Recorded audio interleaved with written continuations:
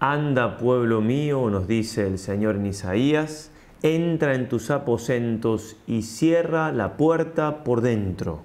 Escóndete un breve instante. Daremos materia en tres pláticas, en tres meditaciones en este día, para ayudarles justamente a hacer esto que nos manda el Señor y hacer un pequeño día o un rato de retiro.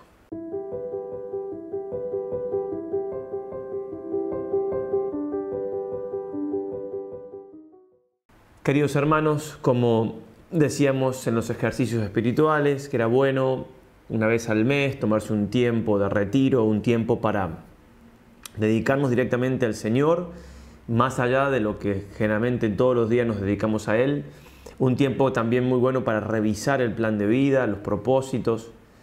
En algunos casos puede ser un día completo, ojalá pudiera ser así en todos los casos. En otros no habrá tiempo para tanto, puede ser quizás mediodía o quizás un par de horas. Nosotros vamos, como todos los meses, vamos a ofrecer tres charlas, tres meditaciones, puede aunque sea hacer una, la primera que vamos a dar ahora, pero lo, interesante es esto, tomarme un momento en el mes para revisar mi vida, sobre todo a la luz del plan de vida que he hecho la materia que vamos a dar puede ayudar a, ver el plan de vida o puede que sea simplemente de ayuda en general a la vida espiritual y dentro de eso revisamos nuestro plan de vida. El ángel del Señor dijo al profeta Elías, levántate y come porque el camino es demasiado largo para ti. De eso se trata, de frenar y comer. Comer en la vida espiritual es alimentarnos más de Dios, de la oración. Eso se busca en este rato de retiro, en este momento de mayor intimidad con el Señor. También leemos en Isaías, recordad esto y sed hombres, tenedlo en cuenta, oh transgresores de la ley.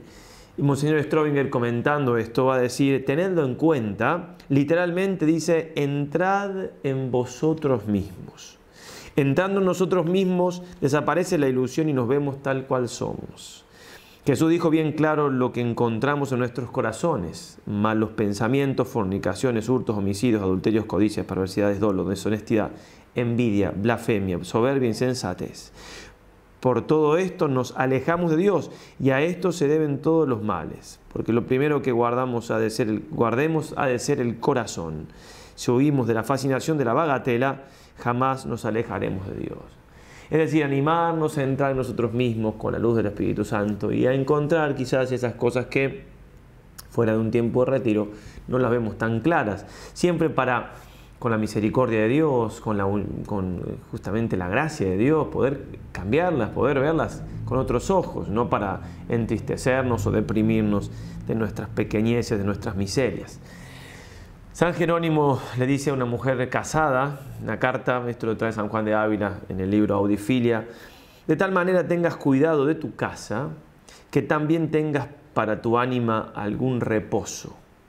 Busca un lugar conveniente y algún tanto apartado del bullicio de tu familia, al cual te vayas como quien se va a un puerto, huyendo de la gran tempestad de tus cuidados, y allí solamente haya lección de cosas divinas y oración continua y pensamientos de cosas del otro mundo, tan firmes que todas las ocupaciones del otro tiempo del día ligeramente las recompenses con este rato de desocupación. Y no te decimos esto para apartarte del gobierno de tu casa, mas antes para que allí aprendas y pienses cómo te debes haber con ella. Hugo Wast decía, necesitamos quedarnos en compañía de nosotros mismos. Qué profunda aquella palabra de la heroína de Schiller. Cuando estoy sola recibo mis mejores visitas. Pero no nos dejan estar solos. Hoy en día es más difícil todavía. Las mejores visitas en nuestro caso son del Espíritu Santo y, y no es estar solos con nosotros mismos, es estar solo con Dios. Pues bien, ocupemos lo que podamos, en lo que podamos este tiempo de retiro y vamos ya a la materia que queríamos proponer para estas meditaciones. Hemos titulado este retiro Espiritualidad Ignaciana porque vamos a seguir fundamentalmente un texto, eh, que su original está en catalán, del padre Ignacio Casanovas, que lo citamos mucho en los ejercicios, un texto que él habla de la unión con Dios. Lo hemos dividido en tres partes para que sean tres meditaciones, hacemos un comentario muy libremente y agregamos algunos otros textos. El título que él pone a esto es Jesu Dulcis Memoria, tomado de un himno que lo vamos a citar al final, donde él lo trae. Por eso no vamos a empezar explicando el título, porque el título se explica claramente al final. Pone, ni bien empieza esta reflexión que hace a título personal, que se le dedica a un amigo, el padre Eduardo Serra, que es quien escribió ese libro, librito del examen de conciencia, que seguimos largo y tendido en, el ejercicio último, donde explicábamos la, el, el examen de conciencia según San Ignacio, bueno, eran muy amigos, estaba con él y le dedica este texto, está en 1911 y pone esta frase, digo, del Kempis, cuando comienza, aquel para quien todas las cosas fuesen uno, y sigue así el Kempis, y las trajere en uno, y las viere en uno, podrá ser estable y firme de corazón y permanecer pacífico en Dios. Lo que va a hacer el Padre Casanovas es mostrarnos cómo ese llegar a, unificar todas las cosas él lo encuentra y nos lo explica hermosamente en nuestra unión con la voluntad de Dios. Por eso son meditaciones bien ignacianas, porque es a lo que apunta también el ejercicio espiritual. Nuestra unión con Dios en la unión con la voluntad de Dios. En esta primera meditación vamos a hablar un poco más de la teoría, ¿sí? cómo explica entonces esto a nivel más intelectual, nociológico, a nivel de conceptos. En la segunda plática, en la segunda meditación, hablaremos, siguiendo el texto del Padre Casanova, siempre por supuesto, más en la práctica, cómo, cómo realizar eso en lo concreto de nuestra vida. Y en la tercera, cómo eso nos lleva a Jesucristo, nos lleva a estar al pie, a los pies de Jesús, como María estaba, ¿sí? donde Jesús le enseñaba a Marta que María había elegido la mejor parte, el unum necessarium. Dice el padre Casanovas, este uno, es aquel para quien todas las cosas fuesen uno, etcétera, ¿no? De del Kempis, este uno es lo que todos buscan, sabios, artistas, santos, pero solo lo encuentran los santos. ¿Cómo? ¿Por qué camino? Y ahí habla de que hay muchos caminos, Dios tiene sus modos para llegar a, transmitirle a los hombres y acercarlos y encaminarlos a, ese, a esa unión con Él. Dice, hay una atracción, atracción de parte de Dios, bien frecuentada en las almas buenas, por no decir en todas. Y digamos, aquello que se puede decir, o sea, ¿por qué caminos de ejercicio y método puede un hombre caminar?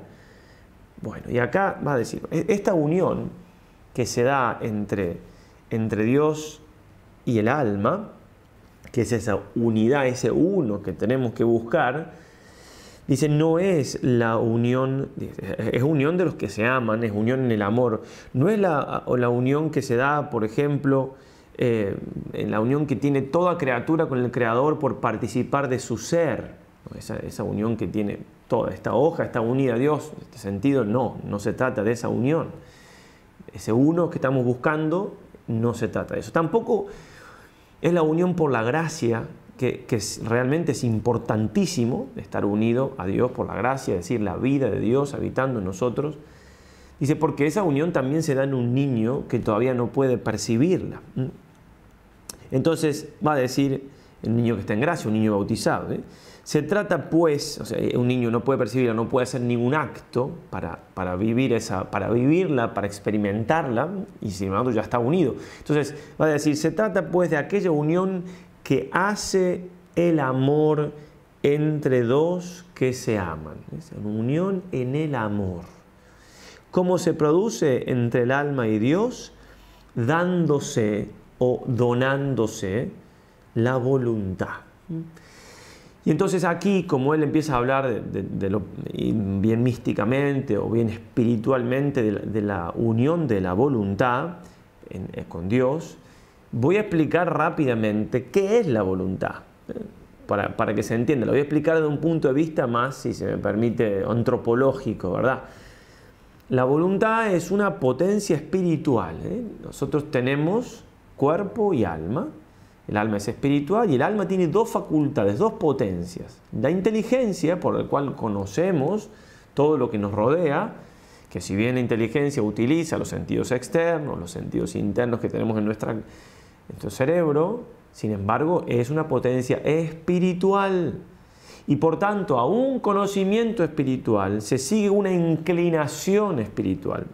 Así como a un conocimiento sensible, veo un plato de comida, le sigue una inclinación sensible, tiendo a ese plato de comida si tengo hambre o si me gusta. Bien, a un conocimiento intelectual, como ese conocimiento que produce la, que, la inteligencia, se sigue una inclinación intelectual, es decir, una inclinación espiritual. Y eso es la voluntad. La voluntad es una tendencia espiritual hacia aquello que conoce la inteligencia. Entonces me hace tender a algo, también en eso que, a lo cual tiendo me hace reposar y gozarme de eso. Dios tiene inteligencia, también tiene voluntad. Se pregunta Santo Tomás cómo puede ser que tenga voluntad Dios si no tiene que tender a nada distinto de Él mismo. Bueno, y también explica entonces que no solamente se da ese tender hacia las cosas, sino también el gozar, el recrearse. Y Dios se goza y se recrea en sí mismo. Es decir, Dios se ama a sí mismo. No hay nada fuera de Él que pueda amar si nos, ama a nosotros, pero nos ama en Él. Y antes de la creación no había nada. Es decir, tiene voluntad, pero no una voluntad para adquirir algo que ya no, que no tiene como nosotros, que necesitamos de otras cosas y demás, y sobre todo necesitamos de Dios. En, el, la voluntad sobre todo la tenemos para llegar a Él. En el caso de Dios no, es justamente para, bueno, para obviamente hacer cosas, como por ejemplo la creación, pero también para gozar, gozar de sí mismo. Y en Dios, es muy importante esto también y con el texto que vamos a comentar. No hay distinción entre su ser, su inteligencia, su voluntad, su misericordia. Dios es absolutamente simple. Y eso también nos tiene que quedar claro, porque justamente al hablar de la unión con la voluntad de Dios, vamos a hablar también, obviamente, de la unión con Él mismo, directamente con Él. Seguimos entonces comentando el texto del Padre Casanova. Los que se aman se dan muchas cosas pero si el amor es verdadero, todo aquello no vale nada, sino porque significan la donación de la voluntad. Cuando yo le dono mi voluntad a alguien, le dono de algún modo todo mi ser. En Dios es, muy claro porque, se, porque se identifica su voluntad con su ser. Pero en nosotros, aunque no se identifique como la voluntad es la reina de las potencias en cuanto no hago nada sino por la voluntad. No vamos a ponernos a discutir aquí qué es más, si la inteligencia o la voluntad, no se trata de eso ahora, ¿eh? pero en cuanto a la operatividad de nosotros, todo lo maneja la voluntad. Incluso hasta cierta manera también inteligencia, porque puedo querer pensar o no querer pensar. Entonces, si yo le dono a alguien mi voluntad, le dono lo más esencial. Por eso, amor de verdad implica donación de la voluntad, que es donación de uno mismo, que es entrega. Cuando esta falta, cuando falta la donación de la voluntad, no hay amor, dice el padre Casanova, sino un tráfico, una explotación, un egoísmo, una mentira. Cuando la voluntad existe, está, está esa entrega, el amor tiene toda su esencia, aunque le falte todo lo demás. Dios nos ha dado muchas cosas y nos da cada día infinitas. Recordemos la contemplación para alcanzar amor, como San Ignacio nos hace ver todo lo que nos ha dado Dios. Para mostrarnos su amor, nos lo da todo. Pero todo esto no llegaría a ser en nosotros condición suficiente para encender la llama del amor divino si todas estas cosas no fueran una señal de que nos dona su voluntad, su amor. Si Dios nos diera cosas simplemente y no nos diera su amor, su voluntad, todas esas cosas no serían nada, igual que en el amor humano. Si un padre le da a su hijo, una madre, cosas, ¿cuántas veces pasa esto, no? Llenan de cosas materiales y no se da a sí mismo, no le da su voluntad, no le da su amor, no le da nada. Y a ese niño, a esa niña le falta todo, porque le falta su padre, su madre. ¿Qué, ¿Qué, son las cosas con respecto a la persona? Nada. Igual con Dios. Dios todo lo que nos da es para mostrarnos que se nos da Él, que nos ama. Y hasta se nos da directamente Él en la Eucaristía. Nos hizo hombre Jesús, Dios hizo hombre, para mostrarnos todo esto, cuánto amor nos tiene. Sigue el padre Casanova, ¿sí? Lo repito, todo esto no llegaría a ser en nosotros condición suficiente para encender nuestro amor si todas estas cosas no fuesen una señal de que nos dona su voluntad, su amor, es decir, a Él mismo. Y puesto que es así, el amor de parte de Dios es perfectísimo, totalmente verdadero. No hay convencionalismo ni defecto de ningún tipo. ¿no? Cosas son para meditar bastante porque, claro, nos superan absolutamente. Nosotros ya le ofrecemos a Dios pequeñas cosas, como pequeños actos, pequeños sacrificios exteriores, pero tal vez no le damos totalmente y por completo la voluntad. Es ahí el secreto de la santidad, darle a Dios la voluntad. Sino que a veces es puro convencionalismo para que parezca que amamos a Dios, o una especie de tráfico un poco idolátrico a veces, para obtener de Dios pequeñas cosas que deseamos. Le doy a Dios para que me dé Él, pero no nos damos totalmente. El Padre Hurtado lo decía hermosamente. Fruto de la vida de unión es el don de sí. Y el Padre Casanova lo está planteando al revés. Para llegar a la unión con Dios hay que donarse. Son las dos caras de la misma moneda. Esta vida de oración, dice el Padre Hurtado, ha de llevar pues al alma natural y llanamente a entregarse a Dios, al don completo de sí misma. Muchos pierden años y años en trampear a Dios. La mayor parte de los directores espirituales no insisten bastante en el don completo. Dejan el alma en este comercio mediocre con Dios. Piden y ofrecen prácticas piadosas, oraciones complicadas. Esto no basta a vaciar el alma de sí misma. Eso no la llena, no le da sus dimensiones, no la inunda de Dios. No hay más que el amor total que dilate al alma a su propia medida. Es por el don de sí mismo que hay que comenzar, continuar, terminar. Hay que realizarlo de una vez y rehacerlo hasta que sea como con natural. Entonces el alma se dará con gran paz, se dará propósito de todo, sin reflexionar, como el heliótropo se vuelve naturalmente hacia el sol. Este darnos a Dios puede ser un,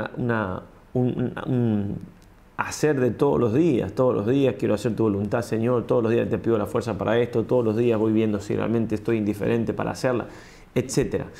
Pero en algunos momentos ese, ese hacer la voluntad de Dios requiere un acto heroico que con la gracia de Dios puede hacerse, de entregarlo todo.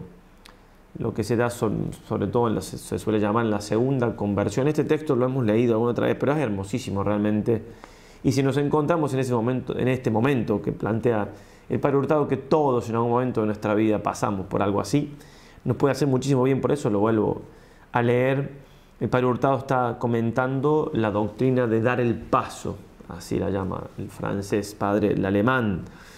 Dar el paso es tomar un camino nuevo, es penetrar en un cierto orden diferente del orden común que aún no había sido abandonado.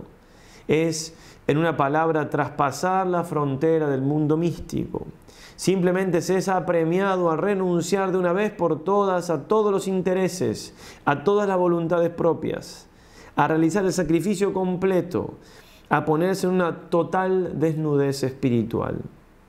De esta pérdida de sí mismo no se ve por un instante más que el horror casi infinito. Se duda ante el vacío horrible que se va a producir, pero no se imagina la plenitud que le debe seguir si se acepta, si se abandona, si se da el paso. Y solamente se experimenta que este drama íntimo es extremadamente serio si se, si se tiene la valentía de no retroceder. Será tomada la palabra y uno se perderá totalmente. Se trata de una angustia totalmente distinta de aquella que precede a las resoluciones ordinarias de la vida cristiana. Ellas acarician siempre un poco más o menos de amor propio ellas encantan la imaginación. Después de todo no se cambia de maestro, uno se mantiene de capitán de su alma, como dijo un poeta inglés. Aquí por el contrario se debe, se va a entregar todo el propio ser, lo más querido, lo más profundo.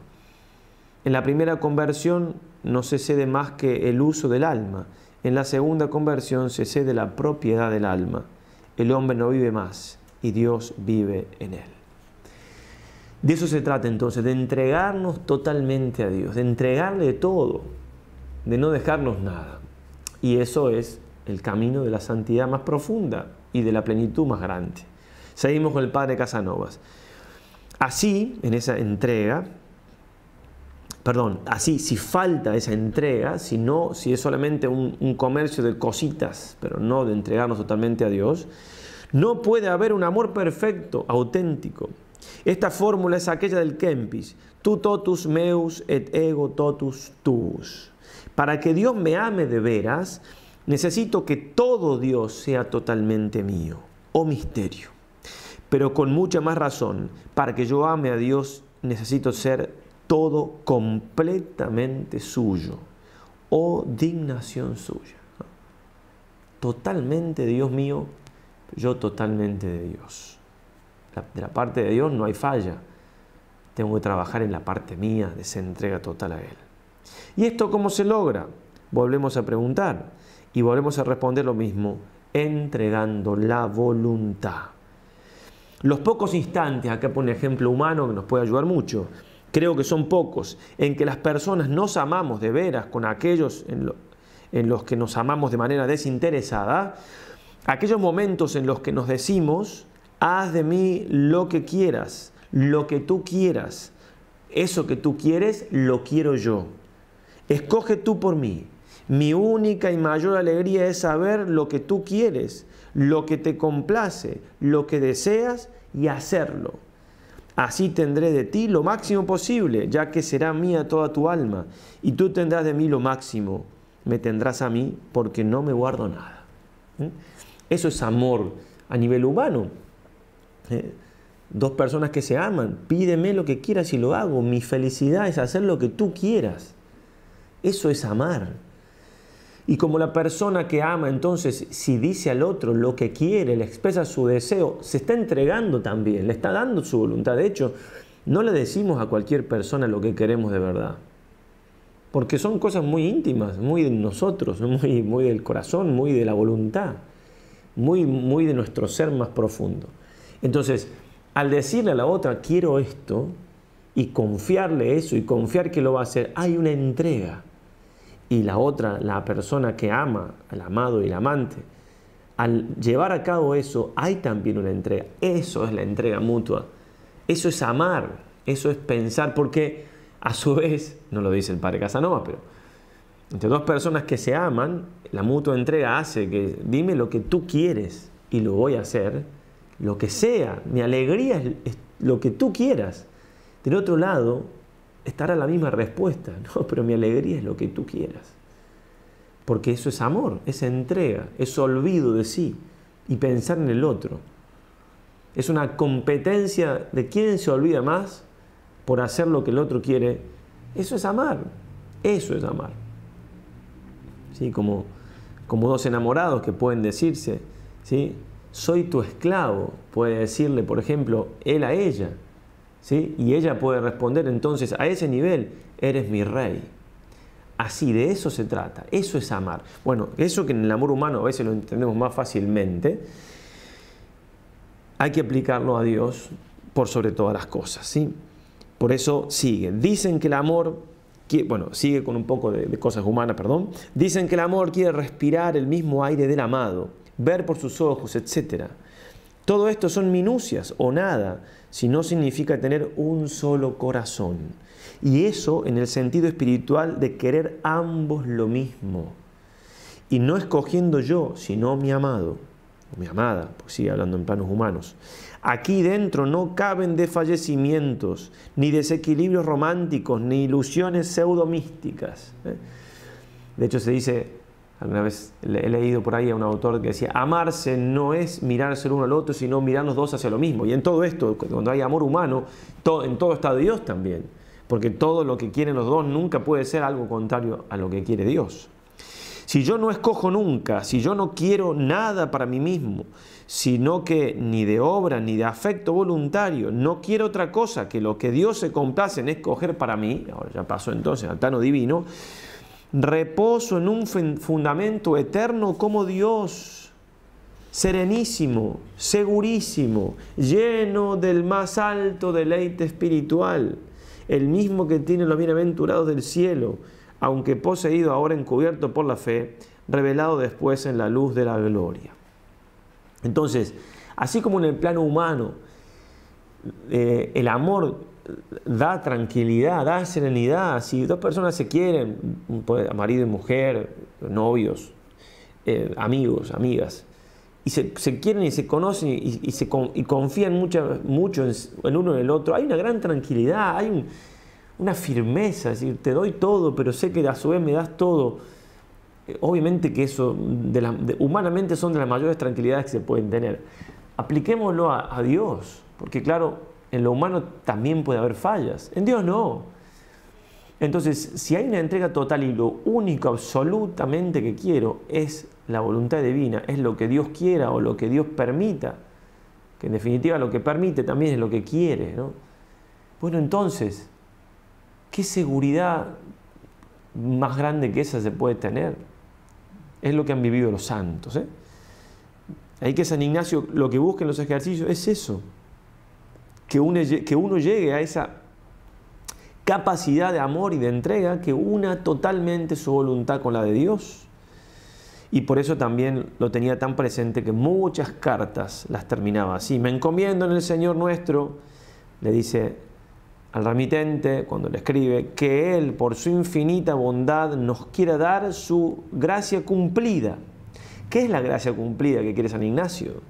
Para que su santísima voluntad sintamos y aquella enteramente cumplamos. ¿eh? Eso es, todo lo que quería. Podamos sentir, pero es un sentir no epidérmico, moderno, como, como yo me siento bien, o como para nosotros sentir muchas veces quiere decir tengo ganas o no tengo ganas. ¿eh? No, no, es un sentir mucho más profundo, ¿eh? que sintamos su voluntad santísima y enteramente lo cumplamos. Eso, eso es todo, eso es todo, eso es amar eso es entender nuestra fe. Y, en esto entonces, ya vamos a bajar un poco más a la práctica en, la próxima meditación, pero en esto reside también una de las grandezas de la obediencia. De, la obediencia en, sus varios estratos, pero especialmente la obediencia religiosa. Si bien en los tres votos tienen sus grandezas y sus dificultades, el más grande, el que configura religiosa como tal, y también el más sacrificado por momento, y también el que más da paz, porque justamente porque hay más entrega, da más paz, pero cuesta más, etc., es el de obediencia. Como decía don Columba Marmion, que era sacerdote, muy buen sacerdote, pero se hizo religioso, escribía, antes de hacerme monje no podía a los ojos del mundo hacer más bien del que hacía donde me encontraba. Humanamente hablando, y si ¿para qué me voy a hacer monje? Pero he reflexionado y he rezado y he comprendido que solamente estaré seguro de cumplir siempre la voluntad de Dios si practico la obediencia religiosa. Tenía todo lo necesario para alcanzar la santificación a excepción de un único bien, el de la obediencia. Ese fue el motivo por el que abandoné mi patria, renuncié a mi libertad y a todo. Era profesor, aunque era muy joven, tenía lo que suele llamarse una buena situación, éxito y amigos que me apreciaban mucho, pero no tenía ocasión de obedecer. Me hice monje porque Dios me reveló la belleza y la grandeza de la obediencia, que es lo mismo que decir esto que estamos diciendo, la grandeza y la belleza de la unión con la voluntad de Dios, del entregarme a Dios, de unirme a su querer, a su deseo, a su complacencia. Termina el padre Casanovas esta partecita, digo, tiene esto un gran escrito, un largo escrito que hemos dividido en tres. Reafirmemos pues esto, amarse es unirse y la unión racional, es decir, espiritual, no se produce si no es uniéndose las voluntades. ¿eh? Decíamos una charla que sacamos hace poquito de San Ignacio místico. ¿Queremos vivir la vida mística? Unamos nuestra voluntad a la de Dios. Sigue, Amarse es entregarse, donarse. Y no entrega nada quien no entrega su voluntad. Pero todo lo da quien entrega su voluntad. En catalán suena, suena lindo, suena con, cierta rima. Tot udona qui, qui la voluntad dona. ¿ah? ¿Sí? Todo lo dona quien la voluntad dona. Entonces, tratar de, meditar eh, en ese, en ese camino. ¿eh? Estoy realmente dándole mi voluntad a Dios. Estoy, ¿Qué cosas todavía no le doy a Dios? ¿Qué cosa todavía me, aferro a mí mismo como un niño que no suelta un juguete y no se da cuenta? Que, ¿Qué cosa quiere, Señor? Pídemela. No caer en escrúpulos, decir, ay, ¿qué no le estaré dando al Señor? Ay, ay, que no, no, no, bueno, eso, tampoco. Pero serenamente decírselo al Señor en la oración, hablar de dirección espiritual, consultar con, mi cónyuge si estamos casados, a ver qué, qué no te estoy dando, porque dando, dándose el otro también me estoy dando a Dios en, la vida matrimonial. Unirse a Dios por la voluntad, entregarle a Dios la voluntad es hacer la voluntad de Dios. Unirse a Dios, entregarle a Dios la voluntad es hacer la voluntad de Dios. Hay que entender, dice el padre Casanovas, bien esta verdad. Hay que saborear el gusto de amor que tiene entenderla, más intelectual, saborearla, sí, pero de manera espiritual, profunda, el gusto de amor, cuánto sabe a amor. Y hay que ponerla en práctica decididamente. Entonces va a decir inteligencia y sentimiento, entenderla y saborearla. hay que extraerlos de la meditación de lo que hemos dicho. Hasta ahora entonces nos hemos dedicado a explicar esto, cómo entenderla, cómo saborearla, por eso acabamos acá la meditación está. La práctica es como sigue. Entonces, la meditación siguiente, bien. Entonces, eh, lo, que yo, lo que yo tengo aquí en mano, este texto, lo pueden ver en, la caja de descripción de este, este video, si vieron el video directamente en YouTube, o si no también en esta pestaña, en la página web, donde, creo que era acá, ¿no? Sí, acá, sí. donde eh, están también las tres charlas con, la, con, el texto de cada una. Como esto en principio una persona, uno de ustedes lo puede hacer en un solo día, publicamos las tres meditaciones casi con diferencia de media hora cada una, pero también puede hacer una un día, otra otra, otra otra, como quieran, la mayor, la mayor de las libertades. Bien, como siempre, el ejemplo acabadísimo de todo esto absolutamente es María Santísima. Ella es la que nos enseña a cómo entregarse. Tenemos una frase exquisita de María, Eche Angela Domini. He aquí la esclava del Señor. Que por ser una, frase tan conocida, eh, no, suena, no nos suena tan profundo. A ver, ¿quién se anima a decirle al Señor, Señor, soy tu esclavo? ¿Quién se anima? Pero con todas las consecuencias que eso tiene, ¿eh? porque decirlo de boca para afuera cualquiera. ¿Quién se anima? Y para, para animarnos, tenemos la ayuda de María. Entonces le decimos a ella que somos sus, esclavos. Por eso nos consagramos a ella. Porque para que ella, siendo esclavos de María, nos ayude, nos enseñe a ser esclavos, esclavas también de nuestro Señor Jesucristo. Ave María y adelante.